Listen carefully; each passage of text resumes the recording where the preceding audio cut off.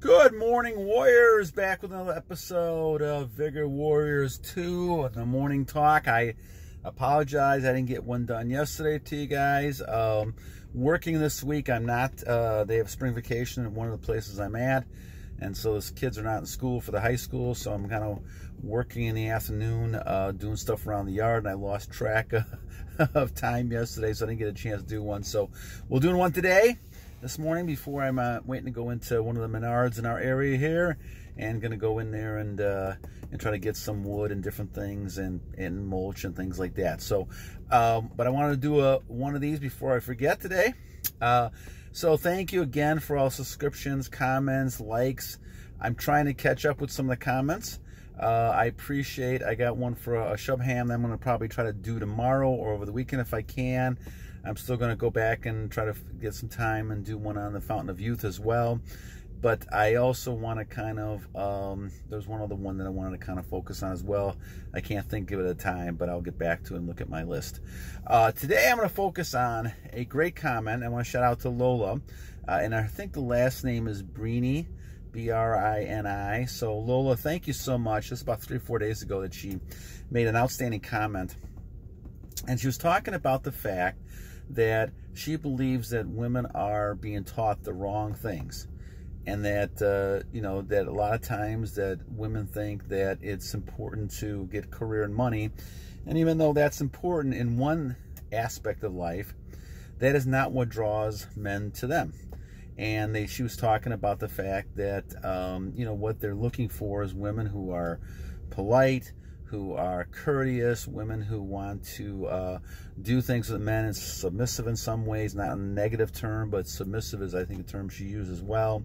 And also that, uh, you know, all her girlfriends, give an example, the fact that uh, they all have careers and, you know, they're doing well career-wise, but they're lonely and uh, she's got a, a, wonderful husband, I'm guessing, you know, and she's and wonderful kids, and that's wonderful. Uh, so uh, I think Lola is, is she she's got the right idea, and I think that's the thing that unfortunately we've had in the society that's been all messed up. And I want to talk about Lola's comments because I think she hit him right in the head. And I appreciate Lola making those comments and great success to you. You've done a great job, obviously, in being uh, a, a, wife and a housewife and doing tremendous things with your family, and that's wonderful. Guys, when you look at the whole picture of things, and I'm going to not talk about our journey a little bit as well, but talk about other things as well. When we talk about the whole idea of life, you know, what's the purpose of what we're doing? And I think the purpose of what we're doing is try to make the world a better place and also kind of have opportunities to give our generations time to make the world a better place as we go on. So we're trying to advance our society in a positive way. Now, that would seem pretty easy for most of us to comprehend and understand. But the problem we have with a lot of people is that there are evil people people who do not want necessarily want that to happen. They want to have control and power. And the elites have always been doing this. They don't really want the world to get better. They may want to, their world to get better, more money and more power and things like that, but they don't necessarily want the whole world to get better. And I think this is where you run into a lot of things that are created for temptation, control, those type of things. So we look at these comments that Lola made, and once again, outstanding comments, outstanding. Um, Lola's really talking about the fact that in society, uh, and I think this is probably going back now when I was a kid, back in the late 60s, early 70s, um, there was a huge women's movement and liberation movement. And, and you know, I remember that song by Helen Reddy, I Am Woman. Uh, and it's a you know it's a good song. There's nothing wrong with the music. She's a you know was a great uh, artist. She is still I think she's still alive, a great artist. But the idea that you're talking about is that you're you're making the assumption that um, men and women have been treated badly all these years. And I think what you have to kind of look at is the idea of why things occur like they do. You know, everybody, every man who's been successful knows that they've had a a good wife, a woman behind them, who really, because they would do anything for that woman and wife, really have control over them, you know, in many regards. And so a good wife knows that. And, and I think that men live, I mean, most men, you know, yeah, there's power and control and things like that. But many, many men basically really want to make women happy. And so basically what they do, and a lot of wars have been fought over women, all these type of things. I think when you look at this, you realize that um, women should be different than men. And I say this because when we look at what she's talking about here, Lola, she's talking about the idea that um, men and women should compete with each other. And that has never really been the intention. There's purposes for men and there's purposes for women. Now, I, I realize that we have, you know, craziness going on in society like we've had in, in past, you know, dynasties and ideas where, you know, the genders are crossed, a lot of discussion about that stuff. That's not what I'm talking about. I'm talking about basically men and women, biologically men and women. And there's different energy roles, different things that men and women do, and they should complement each other as Lola's talking about, to have kids and to have a family so they can work together. And children, I, a lot of research indicates that they need both the mother and the father. And they need to have male energy and female energy. And there's two different purposes. Neither one is good or bad or better than the other. It's just that they complement each other. But if you have relationships in which women are competing with men, and for the same types of things and and these type of things uh, then all of a sudden you have a, a, a problem with men and women getting along together.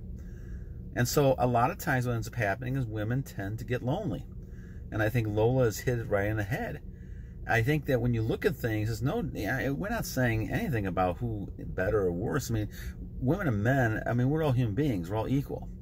But the idea is, is that we serve different roles and needs and a lot and women really are the nurturing type of force in our world. Men don't really have that type of nurturing force unless they're forced to do some and some men can do that of course.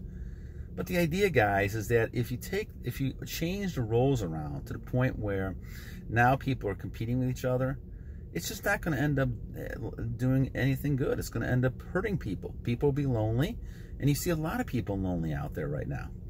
And so this goes back to our retention because once you're able to control yourself and you're able not to expend all your energy and you're able to focus on these type of things, then you're at a point where you're saying, okay, I, uh, I'm going to focus on other things than pictures and other things than uh, of just thinking about sex all the time.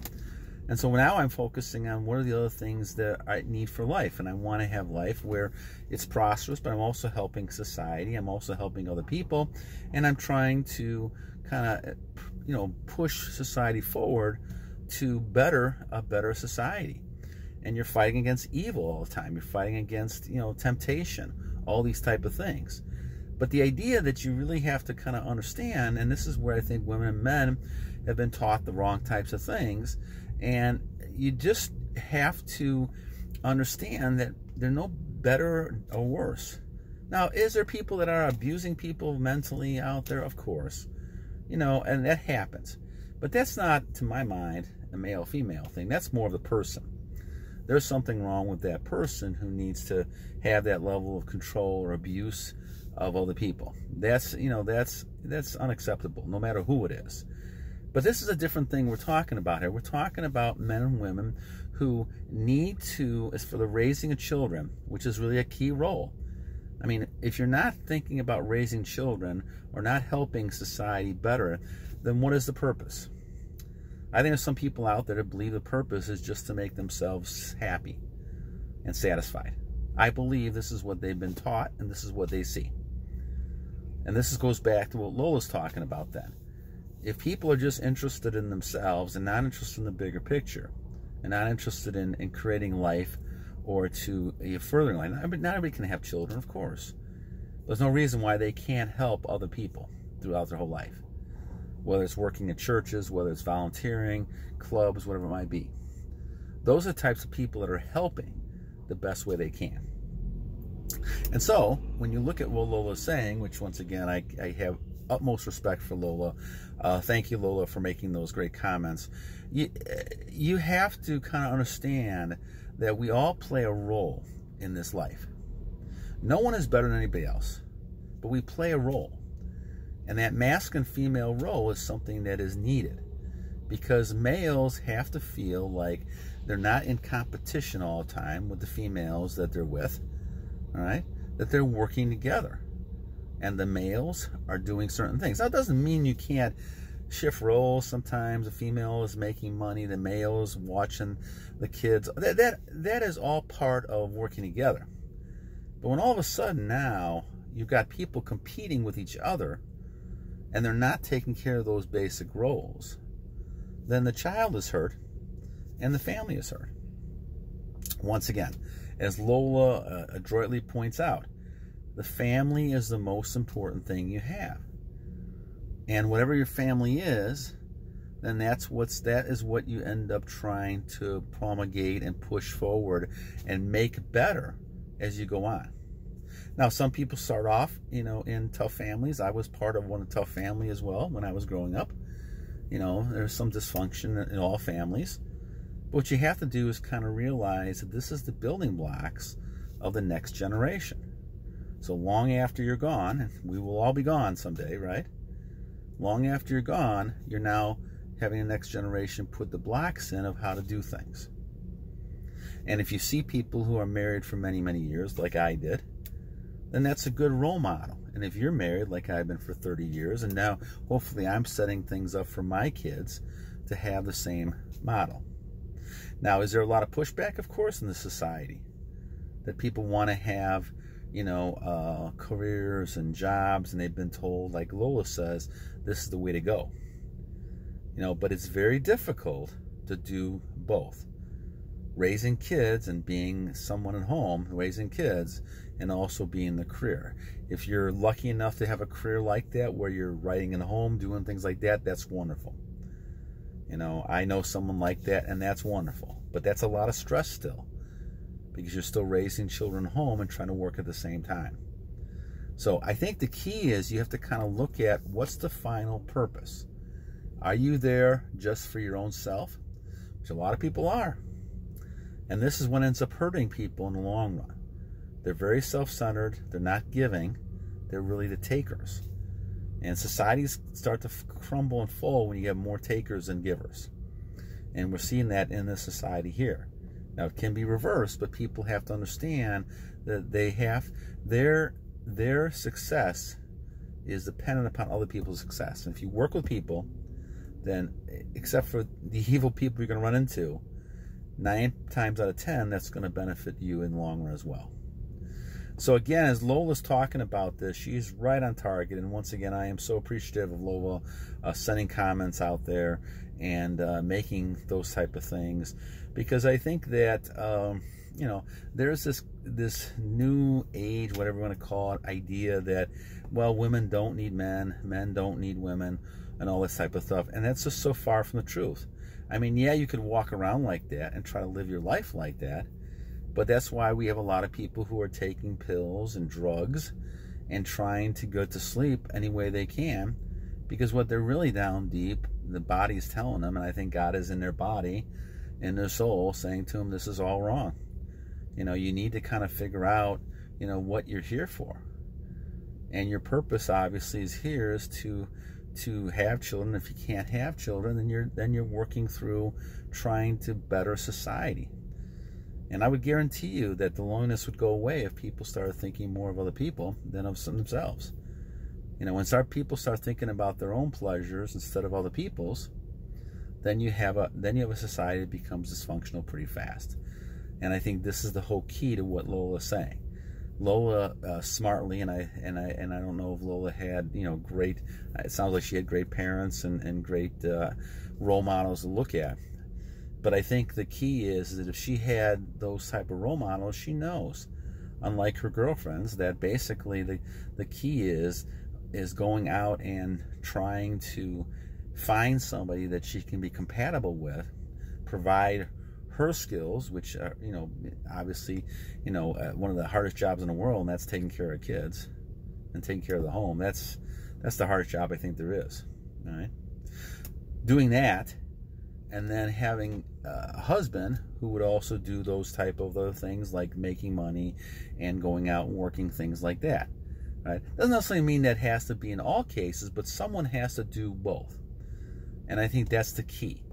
And I think Lola obviously was brought up in a, in a family that, that did that. So kudos to you, Lola. I think that um, I'm hoping that a lot more women see this and realize that the reason they're lonely is because they're basically kind of kind of looking more towards what they want to achieve, thinking this is what men want. And I think she hit it right in the head. Uh, men do not want to compete. Men want women who basically are going to be complementary to them. And they're not going to want the one they fight with all the time, and they don't want that. And I think once you realize that, and your goal is to have a family and kids, now that's the thing. If you don't really want to do that, well, then you're going to probably be by yourself. And that may be okay for certain people. But there's a heck of a lot of people are lonely because of that. And so if you're looking at why people are lonely, a lot of it's because they're not givers and they're taking. They're trying to get the most pleasure, things they can. And this gets us back to our journey. You have to kind of forego your pleasure to be able to say, okay, I'm not going to do this any longer. And in the meantime, now you're going to find real relationships with people, not relationships with people and how they look and objects and, and how they are. All right, so again, great comment. Thank you, Lola. Uh, Shubham's got a great one as well. I'll get to that uh, probably tomorrow. But I appreciate uh, your time and effort, Lola, and getting it to me. And I wish, uh, I admire that a great deal. I wish there were more women out out there like you. Uh, and please, uh, for those women who, who who disagree, please comment. I'm happy to uh, kind of address that. But I think Lola's comment says says it all right there. So. Guys, have a great day. This is April. Forgot the date. I think it's April 22nd, 2022. Have a great weekend. I'll try to make one this weekend if I can on Shubham stuff. Uh, if not, I'll talk to you guys Monday morning. God bless you guys and battle on.